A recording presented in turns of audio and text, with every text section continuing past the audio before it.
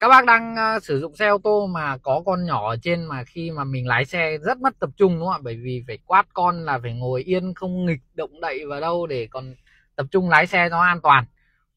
Thì đây là cái giải pháp cho các bác nha. Các bác nâng cấp màn android này. Trẻ con đúng không? Các bác chỉ cần mở video cho xem thôi.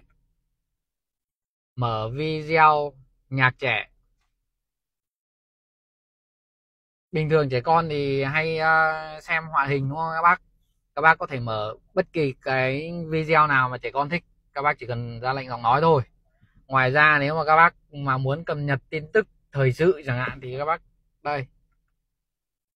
Mở kênh VTV1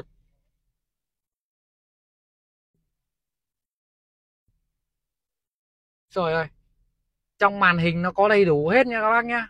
Các bác thấy chưa? Thông tin đầy đủ cho các bác luôn. Nên các bác có mà lái xe mà bị tắc đường thì không lo vấn đề là bị thiếu sót ờ, không kịp về nhà để xem, đúng không ạ?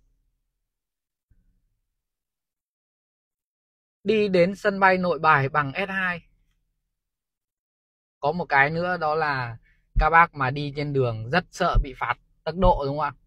Đây, có bản đồ cảnh báo tốc độ cho bác luôn. Trên này. Làm sao mà đi quá tốc độ được? Có cam nó nhắc luôn. Đúng chưa bác? 50 km trên giờ này 200 m nữa là đến biển 60 km trên giờ này. Có mà sai bằng mắt đúng không các bác? Các bác nào mà xe mình chưa có những cái tính năng như thế này thì các bác hãy qua ngay Akala để nâng cấp cho xe của mình trở nên thông minh hơn các bác nhé